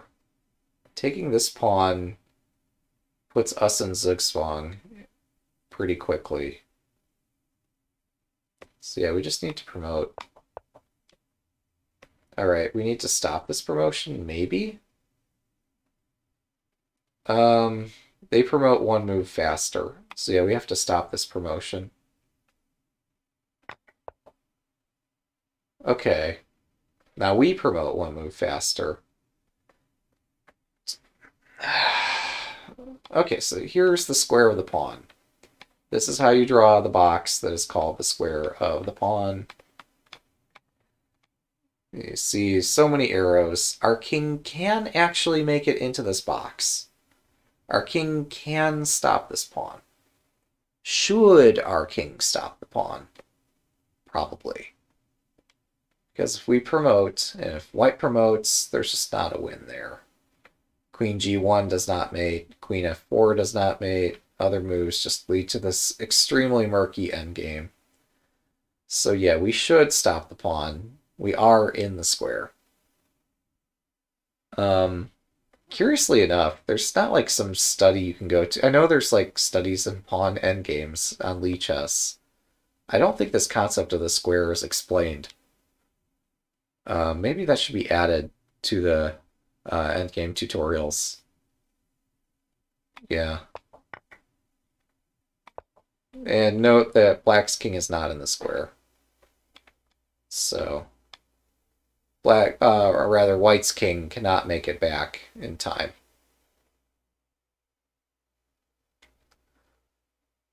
So, yep. Good puzzle. Not just because I solved it, but I've seen this one before, I think. Pretty sure it's just rook takes g2. Why am I... If I have seen this before, why am I remembering it? I don't know. If it's not, if I've not seen this before, it just looks a lot like a problem I have seen before. But our candidate move list consists of captures and checks, right? There's a capture, there's a capture, there's a capture, there's a capture, there's a capture. All right, let's start ruling some of these out. This is stupid. Um, this is stupid. Uh, knight takes doesn't seem to go anywhere. It does attack this knight, but like winning one pawn doesn't seem like it's enough to solve the problem. Queen takes h3 just loses outright. Hey look, we got one candidate move left. Let's play it. Hey, we got it right. Go us. Alright, captures and checks, guys. we're not even to bother. It's this one. Alright, now, after having played the incredibly forced and I'm tempted to say obvious, but not really. But, like, there wasn't an alternative.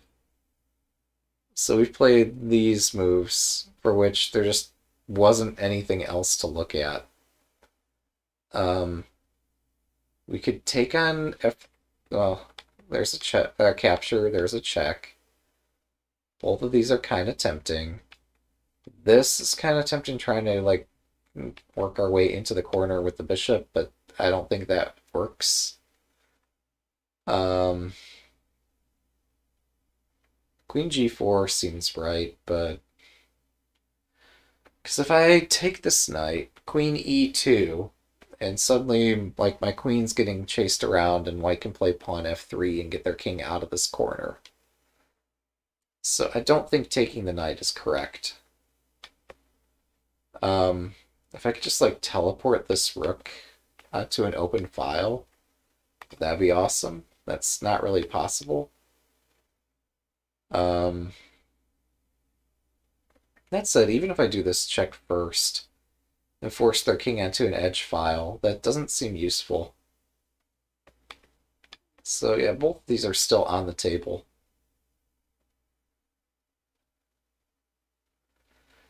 So we played the obvious moves, and now we have to find a move. After having irresponsibly sacrificed a rook. Um, we actually have to try to justify our sack.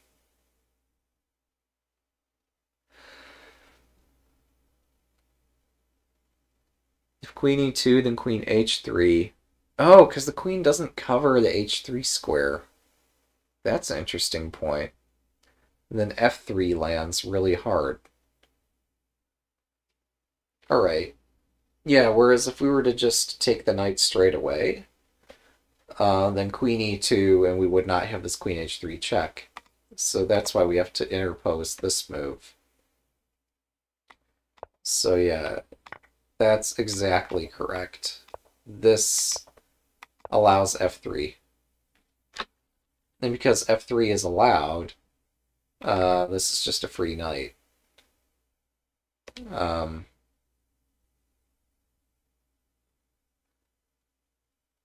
so I'm trying to find some way to say like there's moves that follow after this. Uh, we've won a free knight.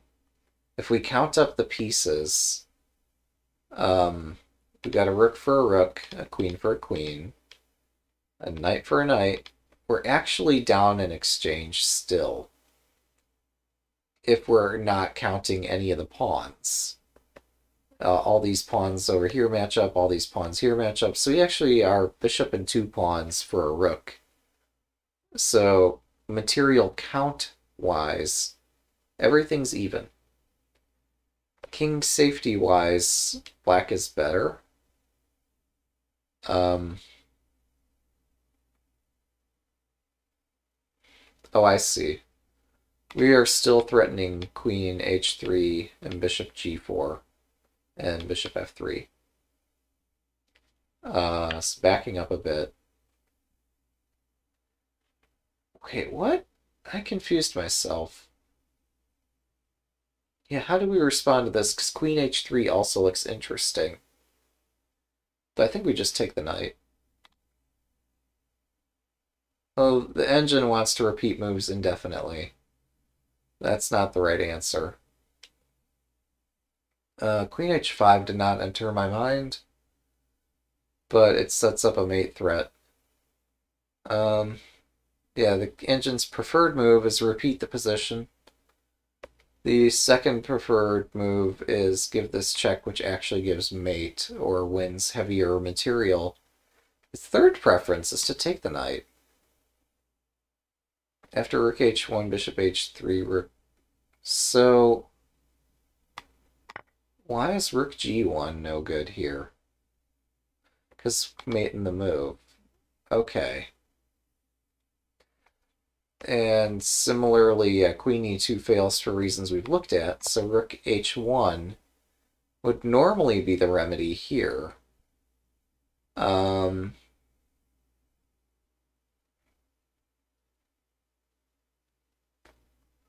huh. Oh, that's cool. Wait, but now if we put the bishop on h3, we don't have queen h3 anymore. Um, so this is the trick. And then we pull the queen back. And without this queen h5 move, um, we have to play something like bishop f1. Why is bishop f1 good for black?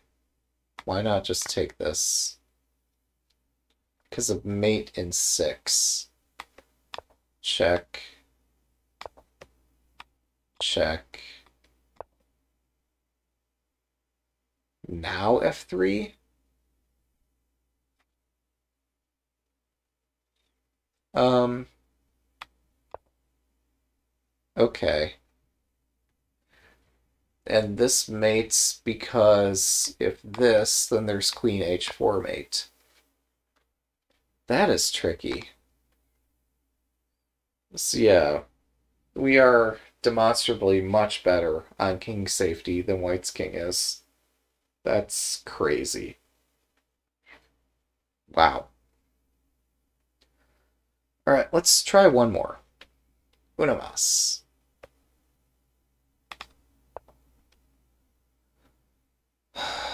take the queen, take the pawn. That doesn't win. Man. Taking the queen and taking the pawn is super tempting. It just doesn't win here. And if we don't exchange queens, it really doesn't look like we're winning that either. Oh, I see. Take the queen. If a takes rook a1, we pin the rook and then promote the pawn. I've used the same tactic in one of my own games. Um, there's either a pin or a fork. Yeah, I've done this before. This is not my game. How cool would it be to see, like, this was a game played between me and somebody else, but no. This puzzle's, yeah, it's got a decent rating. Um, I guess out of a sample size of 275 attempts. Uh, yeah. Uh, I guess if you haven't seen this trick before, it wouldn't occur to you to try it. Yeah, no, I'm aware that you can't, within the Lichess platform, check such a thing. I believe that somebody's produced a page on GitHub for this purpose. I believe another person's produced a website that uses the data of that GitHub page. So I think databases are externally being produced. It's just Lichess has no interest in making or maintaining them. Oh, Lichess added it. Oh, wow. I'm sorry, I misread what you said. Uh, sure, sure, that's fine. I'm off script here. Um, still making the video. Hopefully folks watching the video will be okay with this. yeah, it looks interesting. So, if there is such a thing, it's either going to be like um, one of the pages on Lichess or accessible through lichess.org slash API or the API server. Um, yeah. The API has a lot of functionality in it that I've not kept up with. Uh, been kind of overwhelmed uh, trying to keep up with all the things. Okay, it's one of the features available in Lichess. All right. So, and by that you mean just through this web interface somewhere. Uh, it's under your puzzle profile, not sure. Yeah, this is why I didn't want to go guessing around in the dark, but um, let's take a look. Here's our little puzzle dashboard. It shows our performance of 2,408, our less than 50% solve rate, 60 puzzles that I still have yet to replay um, from my games. Oh, that's cool. All right. Can I zoom in on this page? There we go. Hopefully that captures okay. Yeah, there we go. So, can I remember any of these games? And how many of these do you think I actually found the right move in the game? I forget if that's something that determines whether or not the puzzle gets selected. Um, I think in the le upper left one, I think the correct move was D3, and I don't, I think I missed it. Um,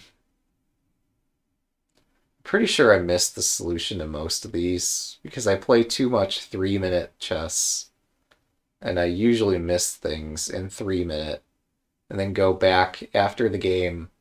If I think I've missed something, I'll run an engine analysis, and the engine will say, Yeah, you missed something. I'm like, Oh, I thought so. So, yeah. I think I. It's usually for the games where I can't see the tactic that I'm doing the analysis. So overwhelmingly, it's, hey, I just missed the tactic. It's seldom that, hey, there is this extremely difficult and beautiful combination. I actually spotted it. Wait. Oh no. Oh no. oh, they rank these puzzles by rating. I missed a fork here. This puzzle's rated 928, guys. Alright, well, that was worth knowing. Oh, no. I mean, it shows that two things, really. One, that I'm playing too much in blitz chess, and two, that I'm just not focused. Like, oh my gosh, that is so embarrassing. Here's the knight fork I missed. I'm sure I had like five seconds on my clock or just was completely distracted, but yeah. Um, here I have a mate in two with rook takes pawn. at least I can forgive that one, because, like, rook takes pawn here also wins. No, it doesn't.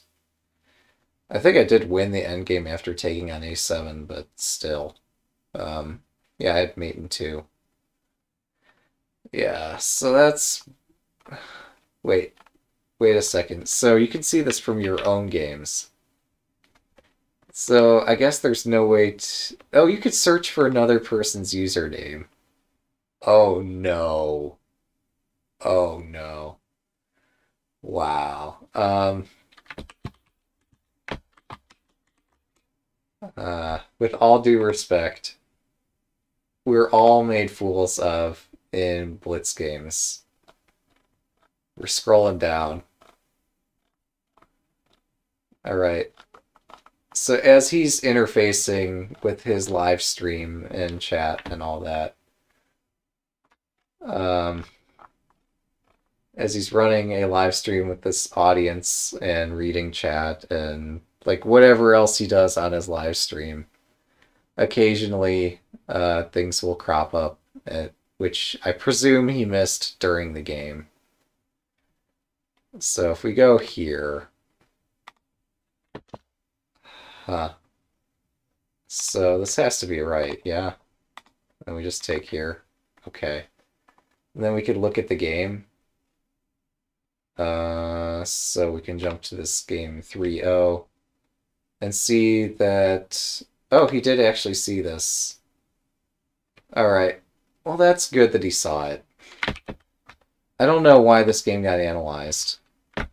Like, if he actually spotted the tactic during the game, why did somebody analyze the game afterward? Did he miss a knight fork in a blitz game? Like, I'm curious how far up the list you'd have to go to find the first one that he fails by rating order. Um, oh, all of mine are rapid. You're probably correct that in terms of new puzzle submissions, my new puzzle submissions would be in rapid games. Existing puzzles could be from Blitz games, I think. But you're probably right that newer puzzles are from Rapid. I might have gone Berserk, and I might have been distracted, but um, no, you're probably right that most of the puzzles there are uh, from Rapid games. So you get this one too. Um, all right, Eric spotted this one. Well done, Eric. How far up the list do I have to go before I find something he missed? I guess we'll search for something 1500. Right, so here's a puzzle 1505. At the risk of embarrassing myself, uh, we just take the queen, right? No, I failed it. Alright, but I'm anxious. This is from his Blitz game. Um, he correctly spotted this. There's some difference. I still don't know what the difference is. Why you can't just take the queen. Because I spent like zero seconds looking before just taking this. Uh, okay, yeah, that's the difference. So Eric spotted this in a three-minute blitz game. So let's go up and find something rated, I don't know, 1700 or something. 1692. Um, what the hell? It's Queen H3, right? No. Um, yeah, Queen H3, then Queen uh, promote on C8. And we are ahead on material.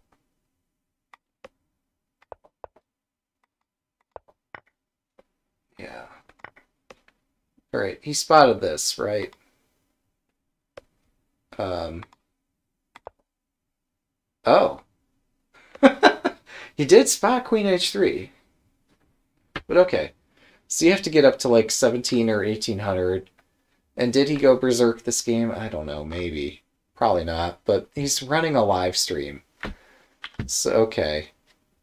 Yeah, so you have to get like to a 1700 something rated puzzle before you'll see him uh, make some error that's not a mouse slip. So, Oh yeah, we could check this out for... Uh, yeah, we could do the same experiment for him. Sure. Uh... Uh... We're going to have to go extremely far down in this list to find something that's not 2000. Um, right? Unless his, all of his opponents are just analyzing the games every game. Right, here's something rated below 2000.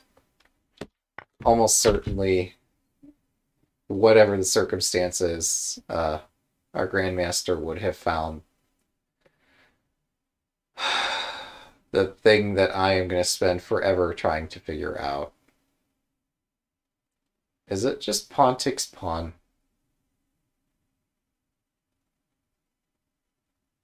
It's gotta be pawn takes pawn, right? This is from a bullet game. We have a problem that's rated almost 2000. Okay. I got one correct move. And we take the knight. What transpired in the game? Surely. Um, yeah, our world champion had no problem solving this. Or whatever. I don't know. So, yeah. I don't know how far up the list you have to go to find something that the Grandmaster missed. But, yeah. Yeah, so basically every game is analyzed, but still, like, it's rare for. He's got 500 tactics out of who knows how many games. Like, he's got to have played some crazy, crazy number of games by now, since he does so much bullet. And if all the games are analyzed, and only some small subset of them have puzzles, um, what was my point that I was trying to make? I don't know. The ones which have the puzzles, the puzzles have to be actually really confusing. Or it has to be confusing enough that both players, or one of the two players, missed it, and the other might have seen it. Because in master games, usually the most critical variations are the ones that don't show up on the board. Um, so these games where uh, tactics actually do appear on a master's board, it's going to be complicated no matter what the rating of the puzzle is. Um, it could just be that both players were not expecting a tactic to suddenly show up, and there it is. Um, but yeah, between masters, it's pretty unusual. Now, if they're all playing bullet, I mean, all bets are off. Like, fine. Crazy stuff, even mouse slips happen in bullet. Um, I have no idea. Our candidate moves, rook f7, 95. I can't even find another candidate. 95 doesn't seem to do very much because like black could play pawn f6 or black could probably attack something somehow. Rook f7 looks way too aggressive. Um, but maybe that's exactly what's called for here.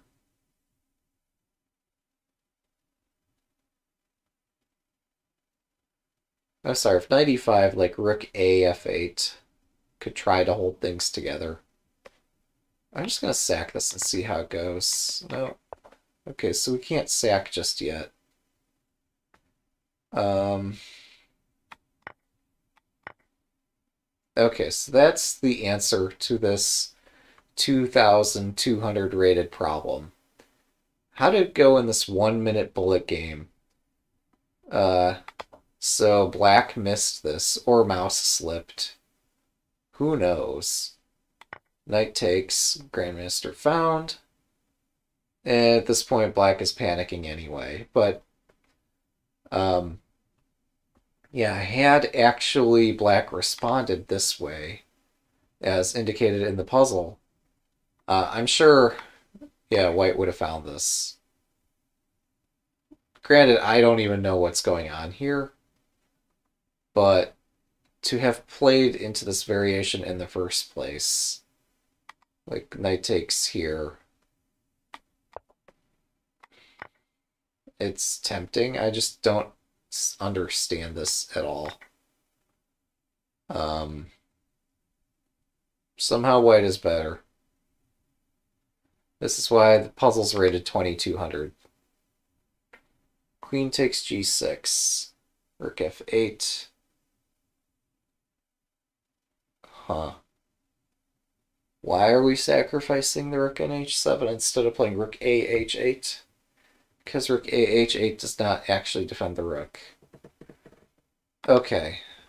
So yeah, this knight on g6 would be immune to capture because there's no way to protect the rook on h7. I'd like to think that even in a bullet game, a grandmaster will see like this rook on h7 is trapped. And we'll just throw the knight here, saying, black, you can't take this, you just gave me a free pawn. I'd like to think a grandmaster will spot this every time, in even in bullet. Um, yeah. Yeah. There's a lot of games. So if you're constantly grinding games, yeah, that's interesting. So this is what separates us mere mortals from the masters, is that they, almost without fail, will get the correct solution to these problems. If they're presented with a problem, um, not even prompted. These are things they'll just show up in their games. They are extremely consistent. That is what separates um, us who are maybe good at puzzles from the players who, like, every single game will always find the right answer. Um, and just the more consistent you are, the higher you make it up the ranks. That's just how that goes tactics do matter quite a bit. There are other things that do matter, but yeah. Uh, we can see here's areas where I have to improve. So, for example, I have to improve at forks and promotion threats and advanced pawn threats and bishop endgames.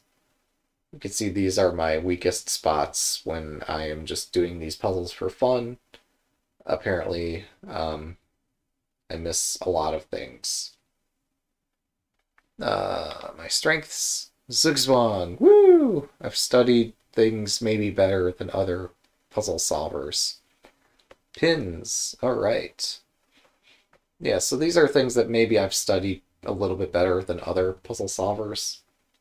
So given the rating level of the puzzle, I'm considered uh, strong for that given rating. It's all relative anyway. Um, but yeah, here's the radar graph showing, yeah, we've learned a thing or two, but there's always more to learn. Um, you can actually look at this by themes. You can filter this. There's quite a few cool things here. I think more recently, where's the thing that I'm looking for? It did get added here, right? Length of puzzle. You could solve one move puzzles. You could solve all 118,736 one move puzzles. Um, yeah, these puzzles are available for download at the database link. So if you're going to try to scrape or download them, go to the database page to do that. Don't hack the website, please. Oh yeah, here's the thing I was looking for, Origin. So you could look at Master Games, Master versus Master Games, and Super GM games. So, like, this is awesome that um, you could actually, like, try to play like the Masters. Um, yeah, I think that's this is more difficult, obviously, than um, if you were to just pick a book off the shelf. And if that book were called something like Tactics Time, which I strongly recommend, or if that book were called um, Rapid Chess Improvement, which I recommend, not as strongly, but it's still a good book. Um, yeah, these master versus master, etc., are going to be strong, uh, much more difficult than Tactics Time or other books. So, almost one third of the Super GM games are Magnus.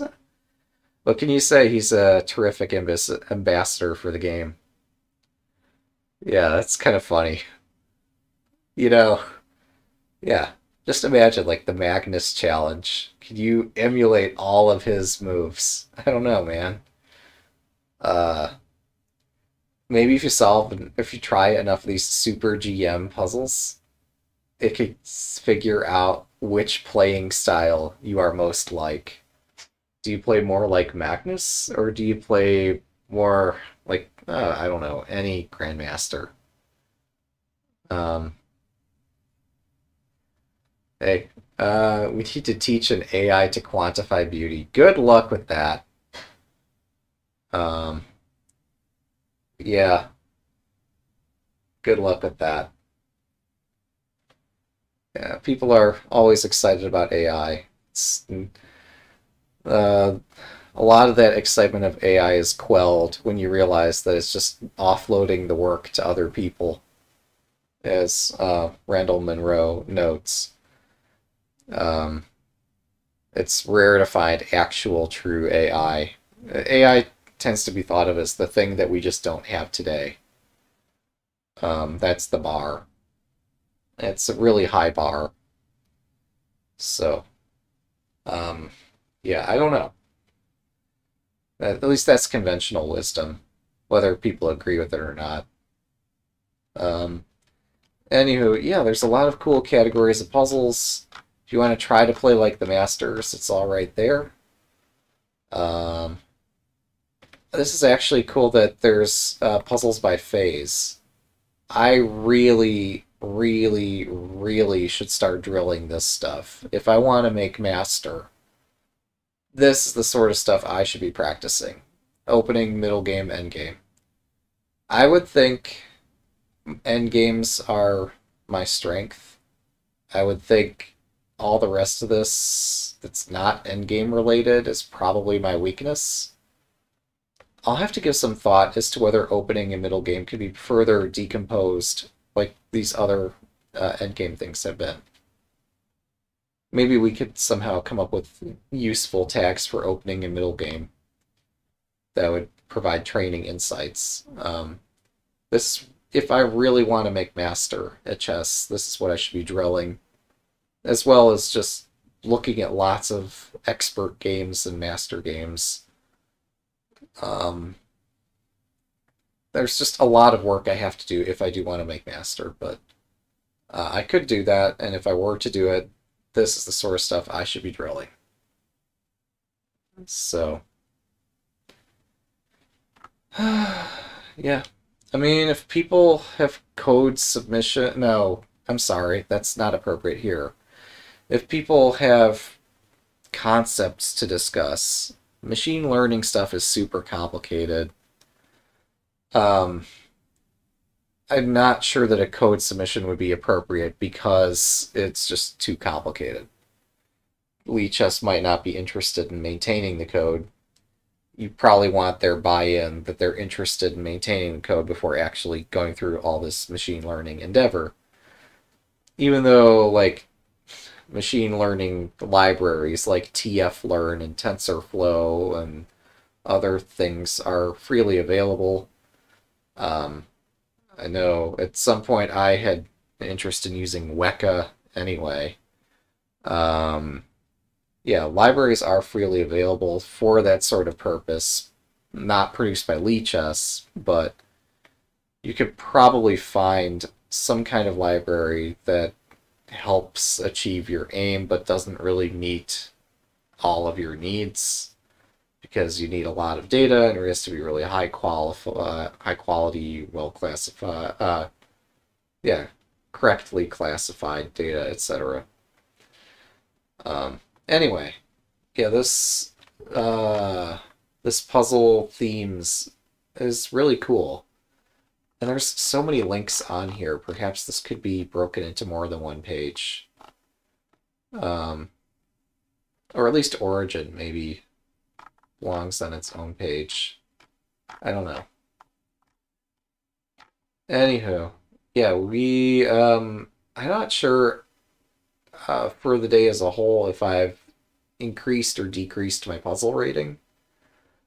Uh, but we unfortunately did not meet our goal of 4001.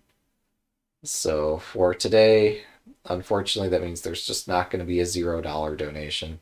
I'm sorry. Maybe next time. Yeah, uh, thanks to everyone for participating. Hope you all enjoyed this, and hope you all have a good night.